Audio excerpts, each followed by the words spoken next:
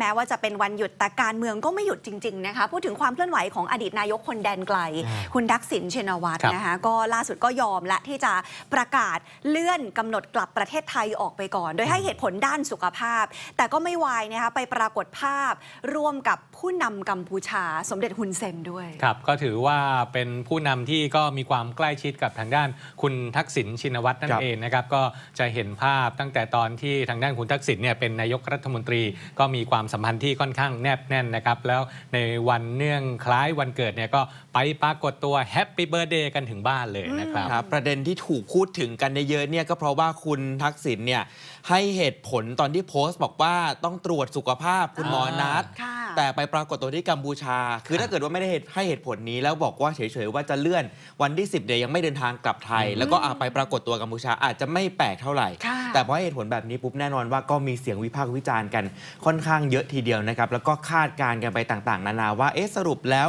ที่บอกว่าเลื่อนออกไปเนี่ยเพราะสาเหตุอะไรกันแน่ไปพบคุณหมอจริง ๆ หรือเปล่าอ่าตรวจสุขภาพจริง ๆ หรือไม่นะครับแต่ว่าล่าสุดเนี่ยก็ตามรายงานข่าวก็ระบุว่าเมื่อวานนี้ก็เดินทางออกจากกัมพูชาแล้วครับนะครับยังคงต้องติดตามประเด็นทางการเมืองนะครับเป็นประเด็นใหญ่ที่เราจะให้ความสำคัญกัน แม้ว่าสัปดาห์นี้ จะไม่มีการเดินทางกลับมาที่ไทยของคุณทักษิณชินวัตรนะครับ แต่ที่จะต้องจับตาเนี่ยก็คือเรื่องของการจับมือกันจัดตั้งรัฐบาล ซึ่งตอนนี้ทางพรรคเพื่อไทยเป็นแกนนำอยู่ครับด้วยเงื่อนไข 2 อย่างก็คือ1เนี่ยไม่มีพักลุงค่ะอืมสองไม่มีก้าวไกลด้วยอ๋อมันก็เลยทำให้หลายคนเนี่ยให้ความสนใจแล้วก็ยังคงติดตามกันอยู่นะครับว่าเอ๊ะแล้วหลังจากนี้เนี่ยทางเพื่อไทยจะไป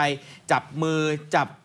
ขั้วกับพักไหนเพื่อที่จะมาจัดตั้งรัฐบาลกันนะครับ และก่อนหน้านี้อย่างที่ทราบกันดีว่าก็มีการเลื่อนแถลงการจัดตั้งรัฐบาลใหม่ออกไป รอผลการประชุมรัฐสภาอีกครั้งหนึ่งนะครับ รอประชุมอีกครั้งหนึ่งที่จะถูกเลื่อนออกไปเหมือนกัน แล้วก็รอความชัดเจนจากทางสารรัฐธรรมนูญนะครับที่ออกมาระบุก่อนหน้านี้ว่าจะมีการหารือกันเนี่ยก็คือ 16 สิงหาคมนี้นะครับ แม้จะยอมรับว่าสมการจัดตั้งรัฐบาลครั้งนี้ไม่ง่ายนะครับ แต่นายอนุสรเอี่ยมสะอาด สสบัญชีรายชื่อพักเพื่อไทยก็ยืนยันว่าพักจะไม่ร่วมรัฐบาลกับสองลุง คือพลเอกประยุทธ์จันโอชา และพลเอกประวิตรวงสุวรรณซึ่งต้องอาศัยการพูดคุยเจราจา ไม่น่าจะเป็นลักษณะการถูกกดดัน หรือถูกบีบคั้นจากบรรดาพักร่วมรัฐบาลครับมีรายงานว่าวันนี้พักเพื่อไทยจะประชุมกรรมการบริหารพักเพื่อประเมินการจัดตั้งรัฐบาล และคาดว่าภายในสัปดาห์นี้จะชัดเจน ก่อนแถลงเปิดตัวพักร่วมรัฐบาล ซึ่งยังคงหลักการเดิมก็คือ ไม่มีพักก้าวไกล และไม่มีสองลุง คือพลเอกประยุทธ์จันทร์โอชา และพลเอกประวิตรวงษ์สุวรรณนะครับ แต่จะมี 12 พักการเมืองร่วมรัฐบาลด้วยประกอบด้วยพักเพื่อไทยเนี่ยก็คือมี 141 เสียงนะครับค่ะภูมิใจไทยมี 71 เสียงตามหน้าจอนี้เลยนะครับ ชาติไทยพัฒนามี 10 เสียง ประชาชาติ 9 เสียง เพื่อไทยรวมพลัง 2 เสียง แล้วก็ชาติพัฒนากล้า2เกียร2เสียงครับ และจะมีพักเล็กพักละ 1 เสียง ร่วมรัฐบาลด้วย 6 พักด้วยกัน ประกอบไปด้วยเสรีรวมไทย ประชาธิปไตยใหม่ พักใหม่ ครูไทยเพื่อประชาชน พลังสังคมใหม่ และท้องที่ไทย ซึ่งทั้งหมดที่ว่ามานี้จะมีสสรวมทั้งหมดเนี่ย241 เสียงนะครับ แต่ตามเกณฑ์การโหวตเลือกนายกอย่างที่ทราบกันดีนะครับ ว่าตอนนี้นะครับต้องมี 375 เสียงขึ้นไป ระหว่างนี้ทางเพื่อไทยก็จะยังต้องหาเสียงสสหรือว่าสวมาเติมไม่น้อยกว่า 135 เสียงนะครับ นอกจากจะต้องแก้โจทย์หาเสียงสนับสนุนให้เกินกึ่งหนึ่งแล้ว ยังมีข้อกล่าวหาเรื่องของการเลี่ยงภาษีที่ดินของนายเศรษฐาทวีสิน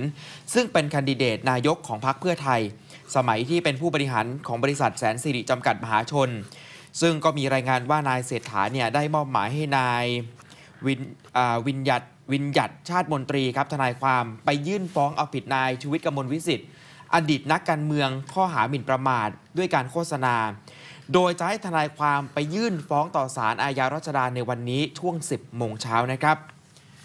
ขณะที่นายชูวิทย์เนี่ยเปิดใจกับไทย PBS ว่าเตรียมจะเปิดหลักฐานใหม่ครับ เป็นหนังสือราชการที่จะเปิดเผยในวันนี้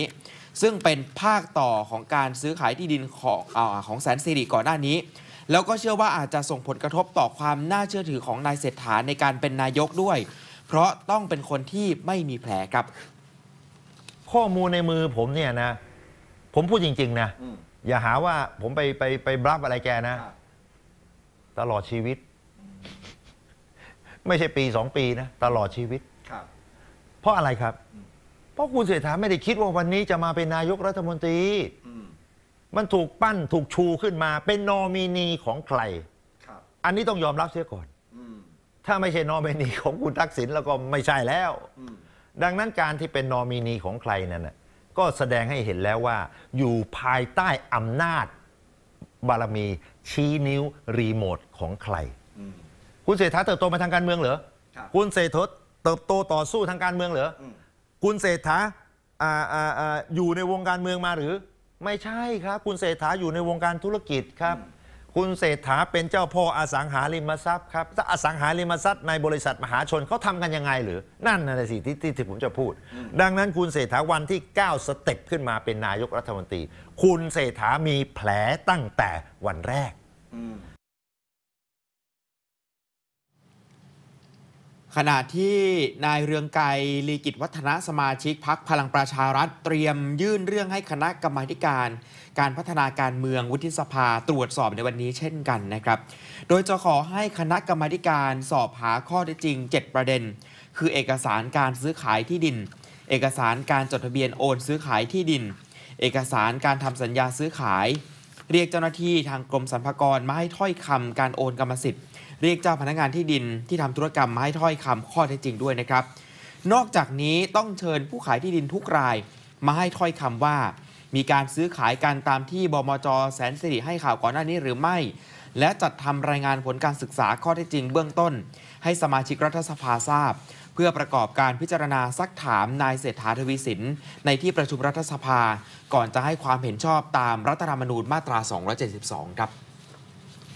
แคนดิเดตนายกที่ชื่อเศรษฐาทวีสินณขณะนี้กำลังถูกดิสเครดิตต่อเนื่องนะคะทำให้พักเพื่อไทยมีหลายโจทย์ที่ต้องเร่งแก้ ไม่ว่าจะเป็นการหาเสียงสนับสนุนมาเติม โดยไม่มีพักก้าวไกล เพื่อให้สววางใจแล้วก็โหวตให้ แต่การเลือกไม่จับมือกับพักพลังประชารัฐ และพักรวมไทยสร้างชาติ ก็อาจจะเป็นปัจจัยหนึ่งที่ทำให้ไม่ได้เสียงสวมาเติมอีกเช่นกัน ความไม่แน่นอนเหล่านี้ถามว่ามีผลต่อการประกาศเลื่อนวันกลับบ้านของนายทักษิณเมื่อสุดสัปดาห์ที่ผ่านมาหรือไม่ประเด็นนี้น่าคิดค่ะ เพราะแม้ว่านายทักษิณจะทวิตบอกว่าเลื่อน เพราะคุณหมอเรียกตรวจร่างกาย ก็ไม่วายไปปรากฏตัวในงานเลี้ยงวันคล้ายวันเกิดของสมเด็จฮุนเซนอายุครบ 71 ปี ซึ่งก็ไม่ได้ปรากฏตัวคนเดียวนะคะ ปรากฏตัวพร้อมกับน้องสาวคุณยิ่งลักษณ์เชนวัตรซึ่งสื่อกัมพูชารายงานค่ะว่า นายทักษิณค้างที่บ้านสมเด็จฮุนเซนหนึ่งคืน ทานอาหารเช้าร่วมกันเมื่อวาน ก่อนที่จะบินออกจากกัมพูชาไปพร้อมกับคุณยิ่งลักษณ์ซึ่งในมุมมองของคุณชูวิทย์เนี่ยเคยบอกนะคะว่าทักษิณถอยยกเลิกกลับไทย ซึ่งก็ถูกมองว่าเพ้อเจ้อมาวันนี้สิ่งที่คุณชูวิทย์พูดดูเหมือนจะเข้าเขานะคะ ความสัมพันธ์เชื่อมต่อระหว่างการเลื่อนสารรัฐธรรมนูญ การเลื่อนอประกาศจับขั้วของเพื่อไทยการเลื่อนอในการโหวตนายกย่อมสัมพันธ์ไปถึงการเลื่อนกลับ ของท่านทักษิณอย่างหลีกหนีไปไม่พ้น เอ๊ะทำไมผมรู้ว่าท่านไม่กลับ ก็ท่านไม่กลับแน่นอนนะเพราะว่า เอ๊ะถ้าท่านกลับแล้วสมมุตินะ ผมพูด เอ๊ะถ้าท่านกลับแล้วสองลุงนี้ยังยังเป็นฝ่ายค้านโดนโดนโดนไปเป็นฝ่ายค้าน หรือว่าไม่เจรจากับสองลุงแล้วจะได้กลับไหมอืมอ่าการกลับของท่านต้องราบรื่น การกลับของท่านจะต้องไฟเขียวครับการกลับของท่านไม่ใช่ว่าไปเสี่ยงอ่า เข้าไปในคุกในคุกเตรียมตัวแล้วก็ไปนั่งในคุกอ่าแล้วก็นั่งรอ เกิดมีคดีอื่นอีก เกิดมีใครร้องขึ้นมาอีก เกิดท่านมีใครเปลี่ยนใจขึ้นมาอีกครับท่านกลับเหรอ ขณะที่นายวิโรธลักษณะอดิศรสสบัญชีรายชื่อพักก้าวไกลโพสต์เฟซบุ๊กเป็นห่วงเพื่อนนะคะ ในที่นี้ก็น่าจะหมายถึงพักเพื่อไทยหรือไม่ ให้คุณผู้ชมช่วยกันวิเคราะห์ค่ะ ในโพสต์เนี่ยระบุว่าที่ห่วง เพราะเหมือนเพื่อนกำลังถูกหลอกพาไปปล้น แล้วยิงทิ้งบนภูเขา และอยากจะบอกเพื่อนคนนั้นค่ะว่าอย่าหลงกลขึ้นรถไปกับพวกมันเป็นอันขาด ให้รีบวิ่งกลับมาลงเรือเร็ว เรือลำนี้ยังรอนายอยู่ ซึ่งก็อาจจะหมายถึงก้าวไกลที่ยังรอพักเพื่อไทยอยู่นะคะ โดยแจกแจงสูตรร่วมรัฐบาลต่างๆ ที่คาดว่าแม้ท้ายที่สุดจะตั้งรัฐบาลได้ ก็จะเป็นแค่รัฐบาลหุ่นเชิด ที่พักร่วมมีอำนาจต่อรองสูงมาก ก่อนจะย้ำให้เพื่อนกลับมาคุยกันว่า จะจับมือต่อสู้กับคนเหล่านั้นอย่างไรต่อค่ะ มีความคืบหน้ากรณีที่สารรัฐธรรมนูญ รับคำร้องพิจารณานโยบายการแก้มาตรา 112 ของพรรคก้าวไกล เป็นการกระทำที่เข้าข่ายล้มล้างการปกครองตามรัฐธรรมนูญมาตรา 49 หรือไม่นะครับ ล่าสุดนายนัทวุฒิบัวประทุม สสบัญชีรายชื่อพรรคก้าไกลออกมาเปิดเผยว่า สารรัฐธรรมนูญได้แจ้งให้พักทำสมุดคำให้การภายในระยะเวลาหนึ่งแต่ขณะนั้นทางพักยังไม่สะดวกนะครับ เพราะต้องจัดการดูแลหลายเรื่อง